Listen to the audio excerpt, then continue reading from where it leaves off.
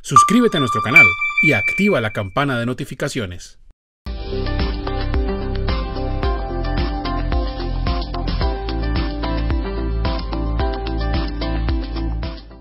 ¿Puede un revisor fiscal de una copropiedad actuar como el administrador de esta?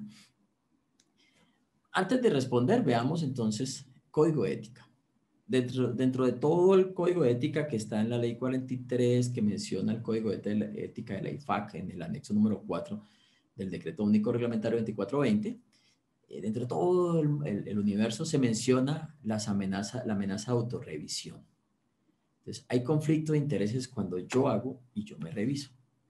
Si yo preparo los estados financieros y yo reviso los estados financieros, pues entro en un conflicto de intereses. Ahí claramente hay una amenaza. Establecer una salvaguarda para hacer esa amenaza, pues sería como contratar a otro revisor fiscal, ¿cierto? Porque, porque queda muy complicado yo, yo realizar o dictaminar.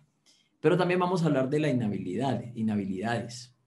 Entonces, se habla de inhabilidades cuando se menciona que no podrá ser revisor fiscal cuando haya actuado como empleado de la misma empresa, en este caso, la copropiedad, y no, haya, y no hayan transcurrido seis meses. Claramente, si yo estoy actuando como empleado, eh, pues no ha transcurrido nada. O sea, estoy actuando, no, no ha transcurrido. Entonces estoy inhabilitado. ¿Listo?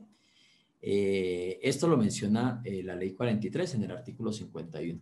Inhabilidad por haberlos auditado o controlado. Entonces, el contador público no podrá prestar servicios profesionales como asesor, empleado o contratista a personas naturales o jurídicas, en este caso la copropiedad, a quienes haya auditado o controlado en su carácter de funcionario público o de revisor fiscal. Entonces, si he venido siendo revisor fiscal, pues no puedo ejercer las dos acciones a la vez.